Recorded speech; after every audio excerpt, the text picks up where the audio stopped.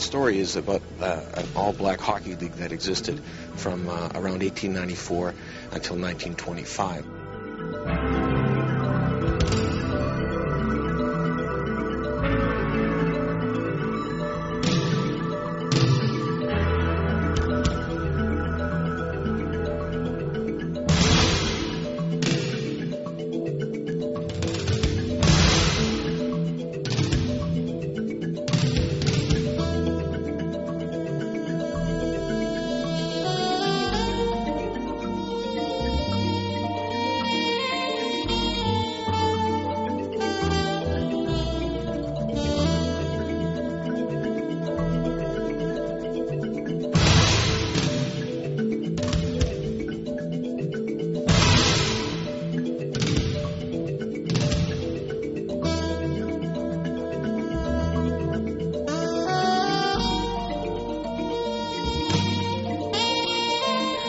That the players were, were black rather than white is, is, is rather profound because uh, when you look at the history books, there's absolutely no mention of this league in, in uh, 99.9% of the hockey texts.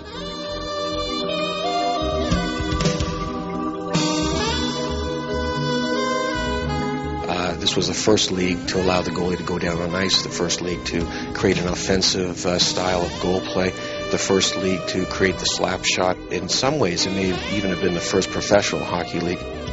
Once the story starts to uh, uh, be told and then more and more evidence comes to light, we're going to have to rewrite our history books in order to recognize once and for all that the true innovators of hockey were not uh, middle-aged white men uh, with an English background.